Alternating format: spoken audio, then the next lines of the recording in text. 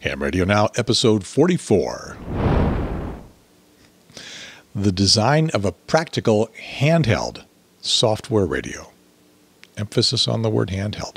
I'm Gary Pearce, SKN4AQ, and we are going to go back down to the uh, Digital Communications Conference, uh, TAPR and ARRL, uh, from last September down in Atlanta for today's subject matter. But before we go down there, I've got an interesting question to look at. How come most cell phones are not SDR based. Does anybody want to take a guess? I mean, it sounds like a great idea. You'd be able to have a universal phone. Now, the person asking that question is Michelle Thompson, W5NYV, and she asked it at the Software Defined Radio Forum at the uh, Dayton Hamvention in 2009. And I've got video of that because I happen to have produced it as a DVD, still available from ARVN. Haven't put that up on the web yet. Uh, it, it, was an interesting forum. Um, take a look at some of the stuff that was in that forum. The DVD's also got the TAPR uh, forum from, from Dayton from 2009. In the Software Defined Radio forum, look at all the high power names in Software Defined Radio that took part in that forum. And this is Michelle up here. Uh, she is the head of the Microwave Engineering Project, and, and her whole talk is pretty interesting. But uh, let's check her answer to that question she posed. Flexibility, like in an SDR, requires more of the functionality bit on software. More software means more cycle time. More cycles means more power is drawn. With a mobile device like a cellular phone, which may be pretty low margin, if you're pulling a lot of power, your battery life tanks. Power consumption is a big, big deal when you look at SDR. And she could have been talking about handy talkies. Well, uh, our presenter today, Chris Testa, uh, KD2BMH, I don't know if Chris looked at that forum or not, but he has taken up the challenge. He's uh, designing a handy talkie to run 2 meters and 70 centimeters that is a software defined radio and can be done with the appropriate amount of uh, battery power. Don't know if he's going to be successful. He's still working on it, but that's what he'll show you today. Before we go down there and uh, and hear from Chris, uh, of course, Arvin is still sitting over my shoulder, reminding me to remind you that Ham Radio Now is viewer supported. If you get something out of this program or all of our programs, stop by the website hamradionow.tv and uh, make a contribution and help keep us on the air or the internet or whatever it is that we're on here. All right, let's go on down to uh, uh, Atlanta and uh, Chris Testa, uh, KD2BMH, and check out his software defined handy talkie. like to introduce Chris Testa, KD2BMH, and his talk on design of a practical handheld software radio. Thank you, everyone. Um, this was my first concept of a handheld software radio. It's in my hand. I've got your USRP and my laptop and an extra power supply. And I mean, that, that works, but it's not really what I was really trying to go for. And, you know, this is the standard uh, software radio. I call it the classic software radio because it's pretty much the main architecture out there right now. There's an SRAM FPGA on the device on the right, and that is shuttling samples back and forth to a host computer over some fast bus, either Ethernet or USB or USB 3, or you know, we keep getting faster and faster and faster. Uh, and I wanted to do something different. So this was eight weeks ago. I completed my first transmit rig of this new uh, software radio. I built it at the University of Utah. And uh, I'm going to go into why this is different. At first, it looks worse because there's actually four power supplies here. There's an external oscillator, uh, and two host computers were required during my, during my first setup. But what's exciting about this is that this device, uh, the power, measure, power measurements were running under 10 watts. Sometimes there's sleep modes where it's running under one watt. And that's what's really, um, really exciting. So in those eight weeks, I finished a schematic. Um, it's got the radios up here, um, VCO's right here. There's um, some filtering parts, um, the A to D and DAC. There's a processor that I'm going to get into that made this all possible. Uh, it's got an SD card, USB, um, Ethernet, and even more than that, I have a layout that actually fits in my hand. So this is a printout, but there's a layout that that's the whole radio, that's full size. So this is there's no host computer required here. This is the whole thing.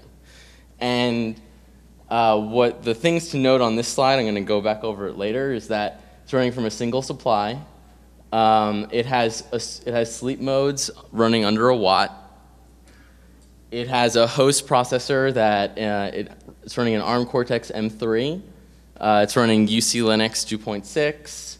Uh, it's got BusyBox on it. It has half a million system gates. It's running on uh, the goal. It has 100 megahertz to 1 gigahertz uh, RF chip on it, and I'm planning to have it run on 2 meters and 70 centimeters, like the handheld that you would expect it to be. Uh, another important part. Shout out to all the other crews who've been talking about how important an Ethernet jack is on your radio. I am an internet user, and to me, what I wanted was an ability to get on the web. And that's what excited me about amateur radio is that not only could I do communications around the world, but that I could uh, use this device and go on the top of a mountain and you know have a, an instant message chat with someone as well, not just the standard um, amateur world. But so to to understand why um, I built this device and how it really someone came to me with the solution to this. Uh, I I had an idea, but it wasn't. I didn't come up with all of these components. That really, it just evolved and came to me the solution. So I want to go over why I'm here, how I got here, and how uh, nine months ago I was an amateur radio operator and I knew nothing about building a radio. But so to me, this all begins with this issue of Make Magazine. In it, they have an article called Kits and Revolutions, and I got a quote from it. Whether in radio, electronics, PCs, or the internet, amateurs have disproportionately influenced early innovation. And this got me thinking because I was born in 1985, the year that Heathkit stopped manufacturing kits. I never got to sit down with a soldering iron and assemble something. It just, it was in my mind, I wanted to do it, but it wasn't really available. Everything was mass produced in China. So I got to be a coder when I was 11. I convinced my mom to buy me a book on C coding, and that's what I did. I became a software engineer.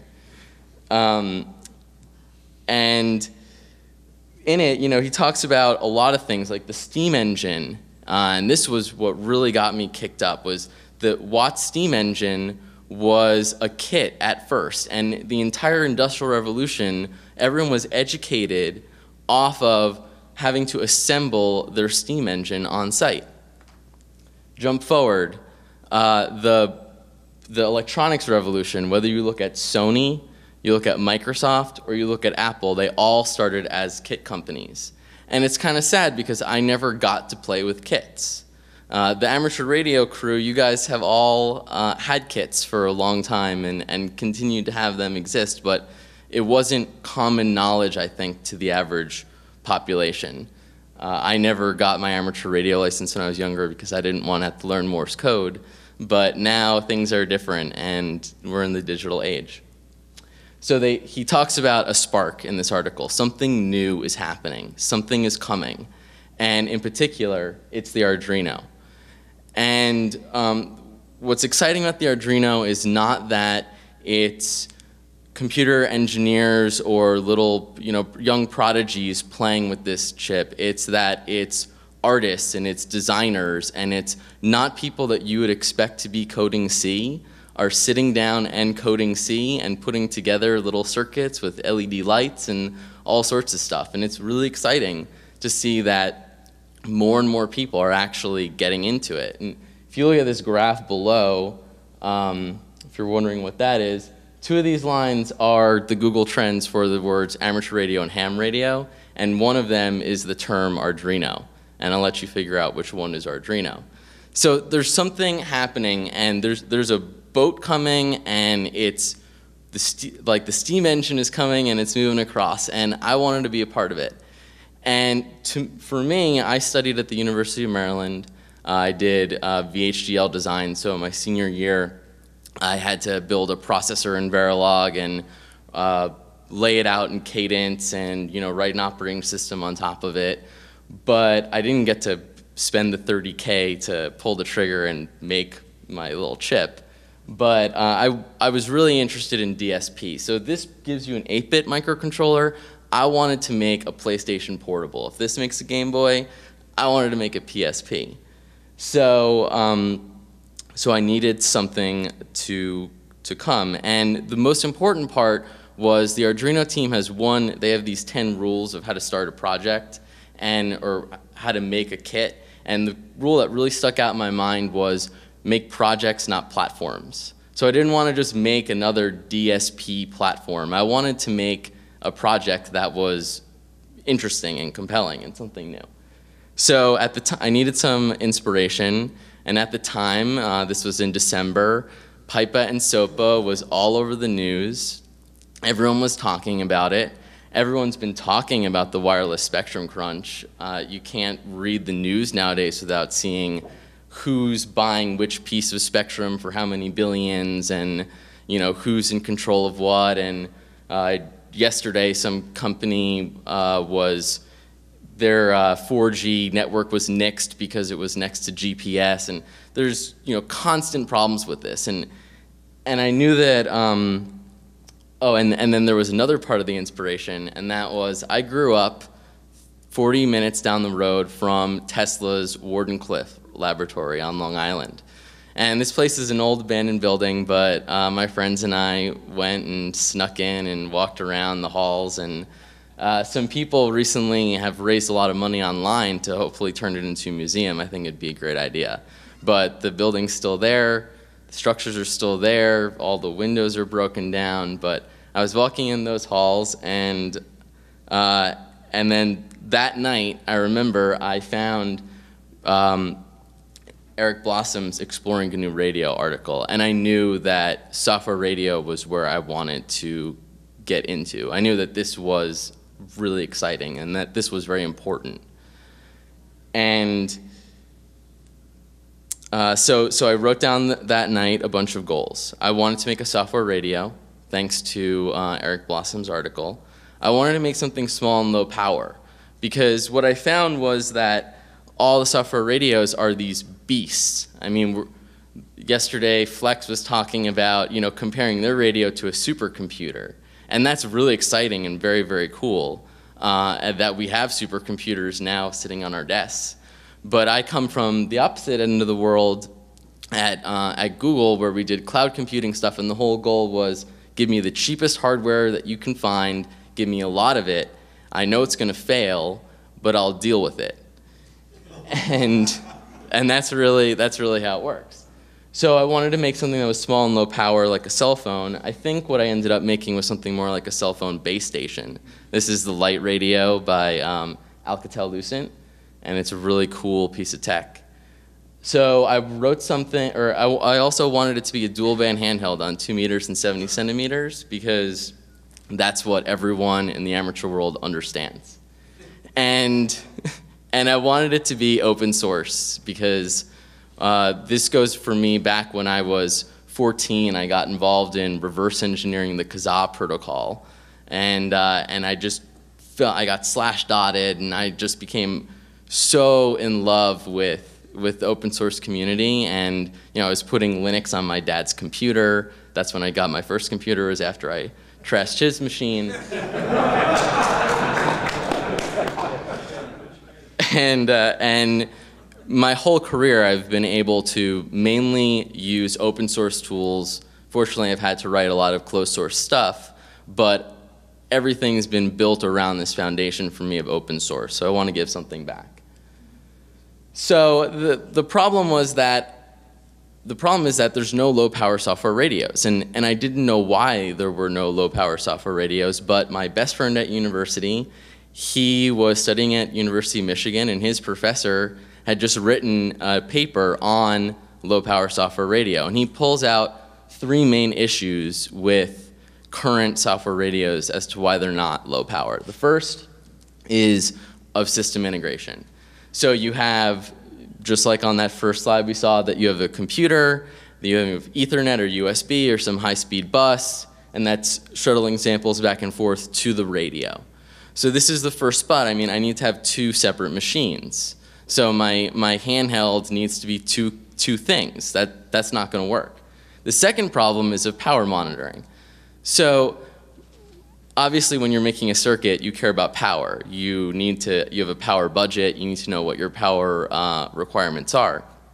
But there's not much involved in monitoring what's, how is the power being consumed second by second on your device.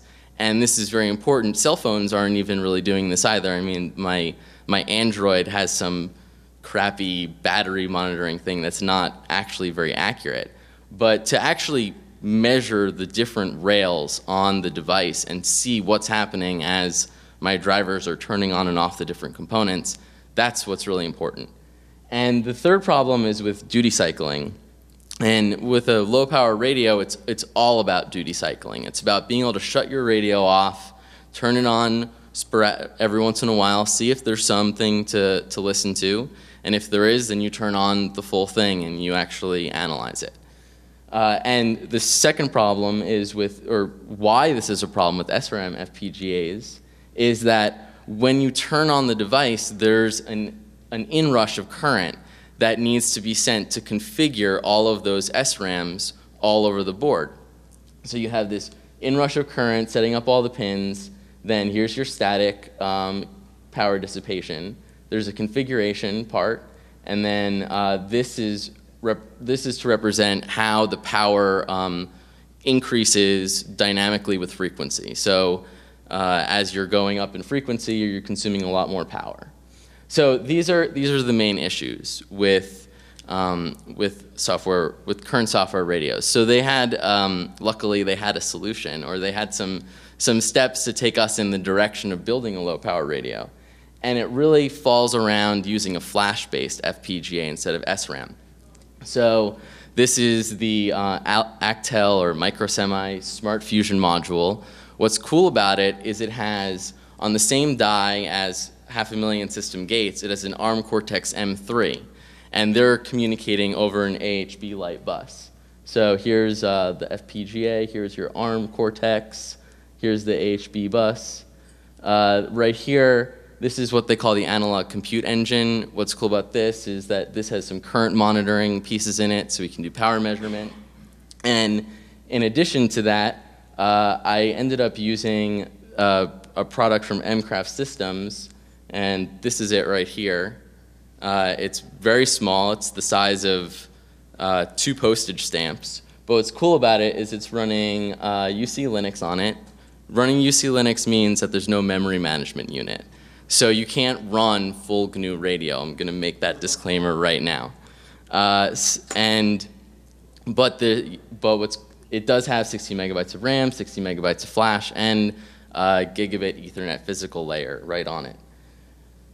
So how does this change the setup? Well, now the FPGA and the ARM and the processor are all on the same die, so we don't have this bottleneck of shuttling uh, samples back and forth between the two machines. Power monitoring, uh, we have built-in power monitoring on, on the FPGA, so I can just hook those in and see what's happening on my various rails.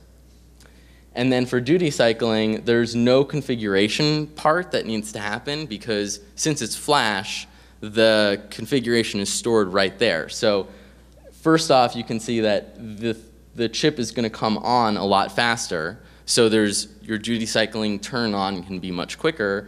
And second, the static, static dissipation of a flash-based FPGA is a lot less than the SRAM equivalent. So now this is where we're gonna we're going to dive into the radio a little bit for a couple of slides, and we're going to look at the different power modes um, and what a transmit and receive looks like.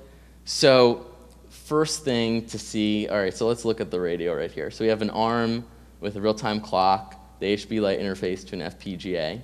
Then here's the radio part. There's um, a DAC and, a, uh, and the radio front-end transmitter, the receive side with an ADC, uh, um, external VCO, and um, the power part. So in this timekeeping mode, there's an asterisk here because I don't have an accurate power measurement on this because I need, we don't have a, a build yet that has a switching supply on it. This requires a switch mode power supply in order for this to happen. Like your cell phone uses a switch mode power supply. So I don't have an accurate assessment of what this is, but I think it should be much less than 100 watts. It should just be this real-time clock running off of one coin cell battery. So the, it should have a really low power mode. Problem with it is that it has pretty long wake up time, two milliseconds. So you know, you can spend some of your duty cycle on this, but you can't spend all of your duty cycle here. Let's look at a transmit.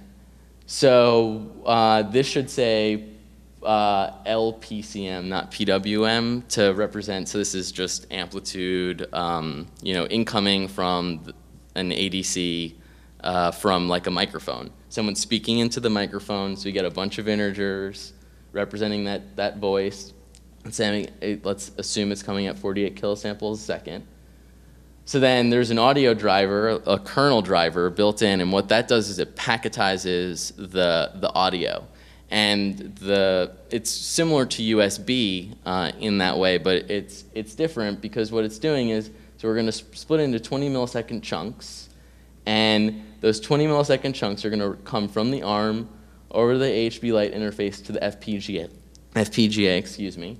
And, uh, and inside of that, it's kind of like a command packet telling the radio, which is completely separate, to you're going to send this data on this frequency, um, and that's, that's what you're going to do. And, and so this is the separation between the ARM and the FPGA.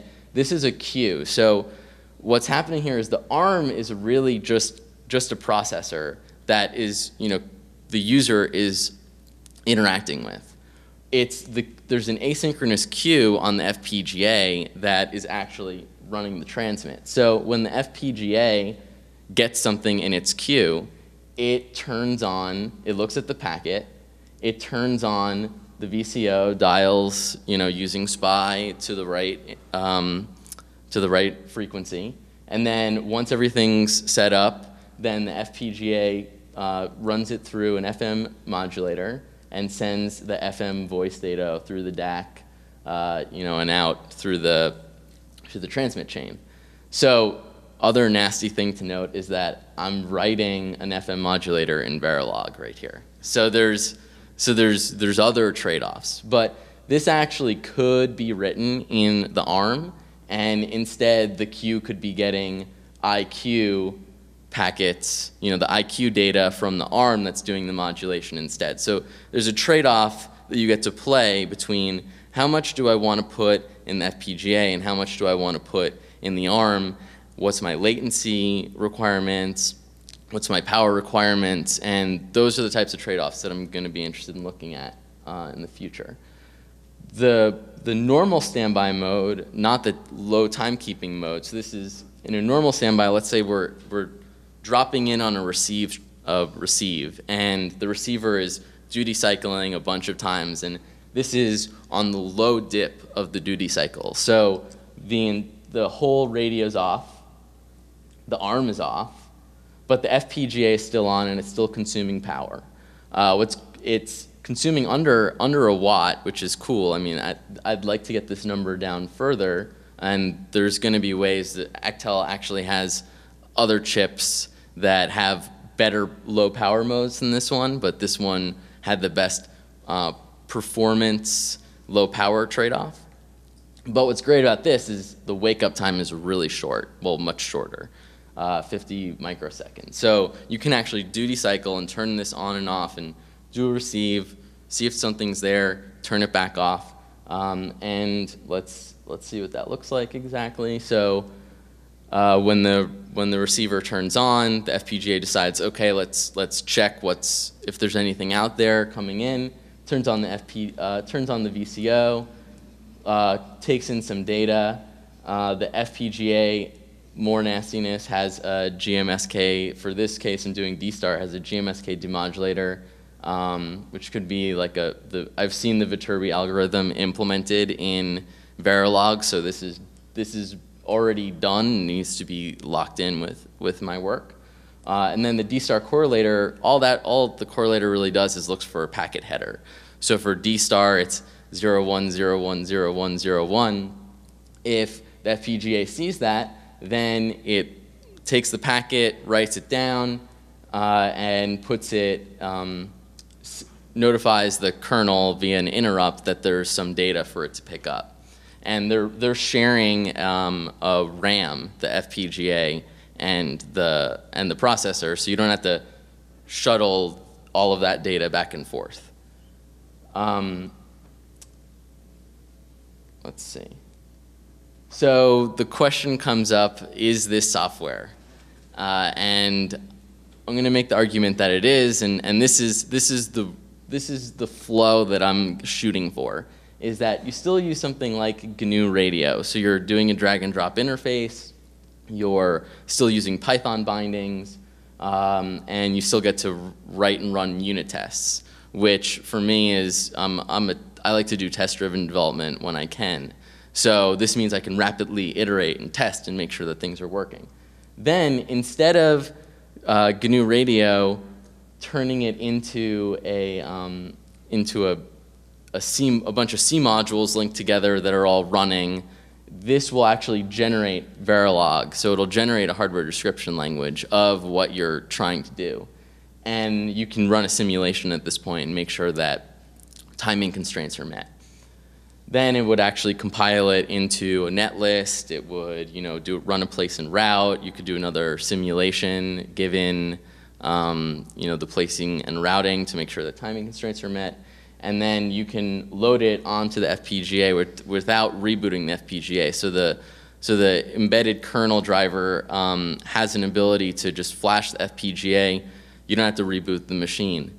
So I'm going to argue that this is that this is a software radio because I can do these three things, which is what I normally do when I'm doing development, and that's I get to use high-level programming constructs in Python. I get to do rapid development and use unit tests to make sure that my code is working correctly. And I can load it onto the final machine without rebooting. So to me, this, this implies that this is enough of a software radio that I'm going to call it a software radio. So let's go back again. Um, I'm going to release this all under the TAPR Open Hardware license. Uh, I don't have it up yet because I, I'm about a week away from having my first prototype in my hand. So when I know that like I have things kind of fleshed out, then I'll, I'll I'm definitely going to be posting everything. Uh, if you want, I'm going to be in the demo room afterwards, and you guys can check out what I've got so far. Um, and so yeah, so the important thing for me is that this is really, I need to call out to developers because I'm trying to do something different. I'm not trying to, to take a new radio and um, the same architecture, repackage it in another box, and then uh, ship it off and, and make my margin. I'm trying to, to bring something new to the, to the radio world, and I'm going to need coding help on it. I mean, I've spent the past nine months getting the getting to the point where the hardware is about to work. I haven't really gotten the time to spend to make any software yet, which is where my background is. But I'm going to need help to you know get the full suite of AM, FM, you know, um, APRS, D-Star, all the different things need to be uh, built to run on this system. And, and I think my hope is, well, my goal is to really have at some point a merging of this stuff back into GNU Radio um, but at, for the moment, it needs to probably needs to sit in its own little development universe to, to get those first pieces booted up. So thank you. Um, I'll take questions. I, and uh, I just want to thank, especially University of Michigan, Maryland, and Utah for, um, for all their help in making this happen. Uh, Emcraft Systems and CML Microsystems for donating parts. Uh, TAPR for letting me speak. And, uh, and Make for making me make. So, questions?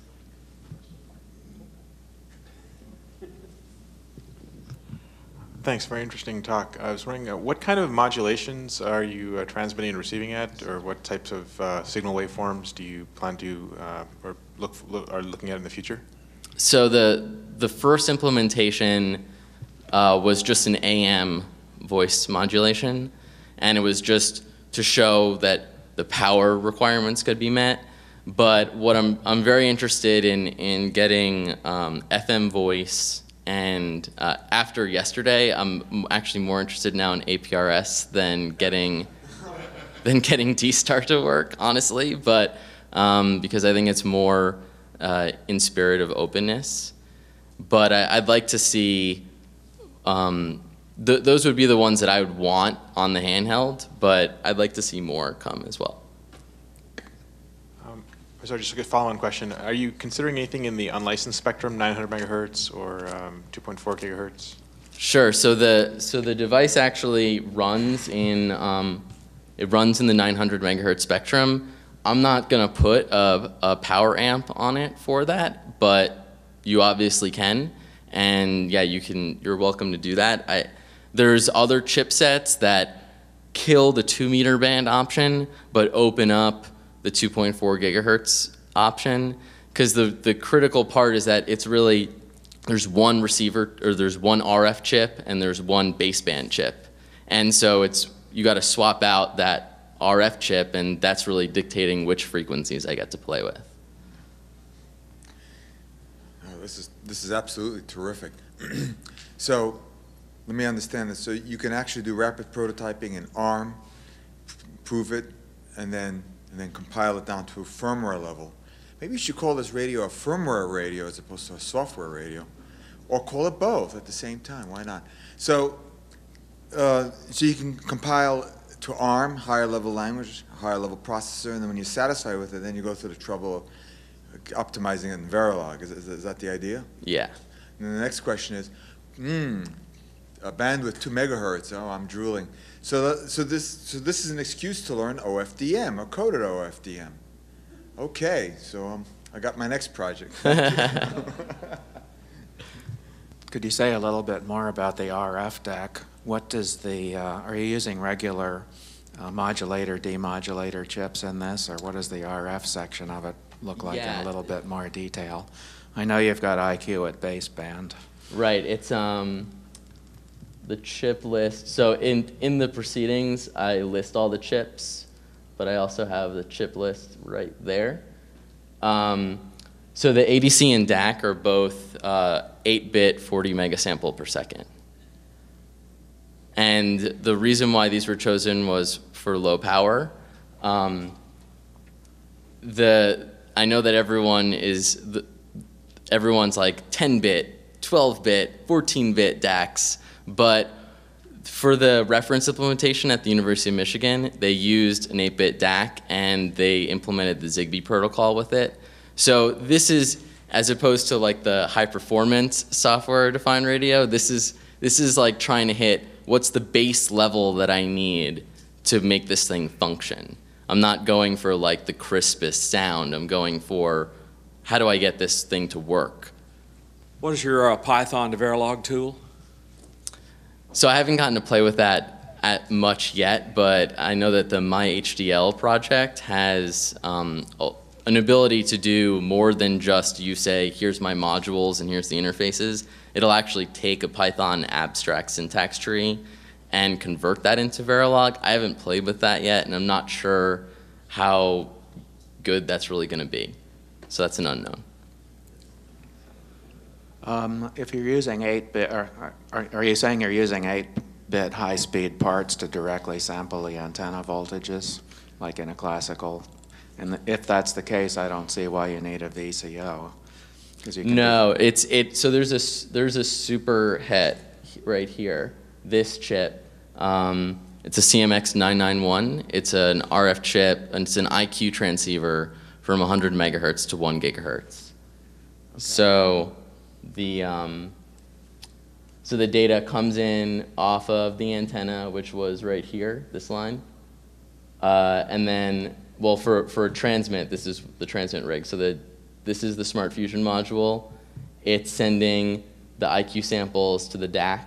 The DAC is sending the IQ samples to the um, to the CMX 991, and then that is using the VCO to image reject, upconvert it, and send it out. So, did I understand you to say that the RF modules, there are different options there for different frequency ranges? Well, I'm only choosing one because Right. it's it's on two meters and 70 centimeters. But yeah, if you want to talk about every single uh, IQ transceiver chip on the market, I think I probably have a list of all of them, and I can talk to you about. So, so kind of in the thought of make, making things and kits, is that one of the concepts that could maybe be offered? Oh yeah, that that you can. I mean, anyone can take this and they can um, they can drop in a new, a different transceiver. Uh, I wasn't thinking of making the board as modular as for you to be able to hot swap them, um, mainly because I'm trying to make something that that's just one small board that I'm gonna hold in my hand. Uh, but absolutely, like there's a trade-off of modularity and simplicity. And I, I think I'm shooting for simplicity with this particular project, but I think that there's an opportunity to, to make it modular as well if someone wants to make that uh, space trade-off. Any other questions? Well, thank you very much. Thank you very much.